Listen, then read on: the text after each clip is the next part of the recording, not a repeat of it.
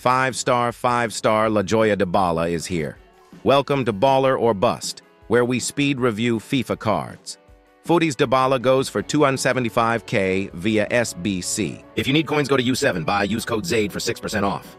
Finally, EA are giving out 5-star 5 stars. They wasted a playstyle plus by giving him flair, but his other three are elite. Hawk Chem style to max pace, not the fastest, but good pace. Maxed out shooting with finesse shot plus? Yes, please. This man's finesse shots are comparable to Prime Robben.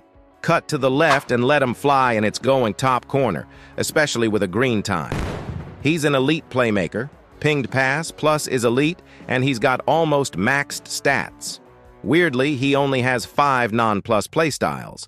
Five-star skills and technical plus is all you need in this world for dribbling, but he's got first touch too. Wish he had press-proven plus though, cause he's weak as hell with 76 strength. High-low work rate, so he's checking out chicks in the crowd instead of playing defense.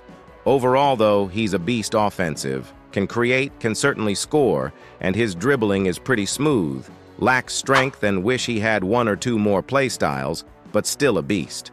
14 goals and 8 assists in 10 games.